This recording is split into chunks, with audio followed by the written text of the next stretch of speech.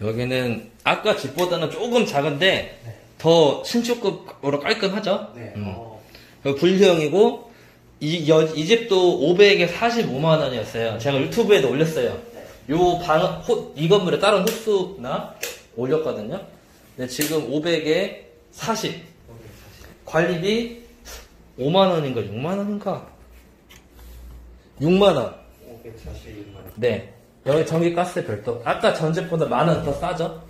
만 원 더 싼데 방은 어, 좀 더 작아요. 근데 이게 가장 평균적인 원룸이라고 보면 돼요. 최근에 지어진 건물들에.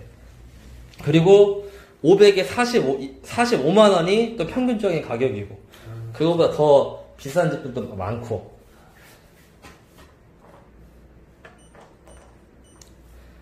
이메타 81. 정도에. 어, 창도 양창이라서 뭐 환기 같은 건 매우 잘 될 것 같아요. 그리고 뭐야? 4m 60.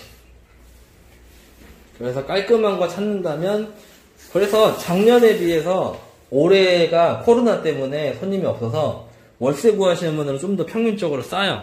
제 손님 제가 그 체감하는 거는 전세는 더 좀 비싸고 전세는 작년에 비해서 좀 가격이 좀 올랐고 월세는 더 싸고 여기는 그래도 500에 40에 이 정도면 구로디 터역에서 600m 조원동이고 아주 좋습니다.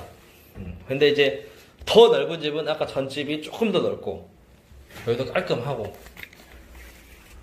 음, 방은 아주 어, 좋습니다. 여기도 그러니까 책상, 옷장 들어가고 책상 들어가고 냉장고 들어가고 공간이 냉장고 들어가는 것만큼 하나 더 남고 그렇게 길이를 예상하시면 됩니다. 잠시 오케이. 침대는 주- 아마 요거 도배는 아마 안 해줄 것 같아요. 이 요 부분만 좀 누리끼게 해서 아마 침대 자리 같아요 여기도.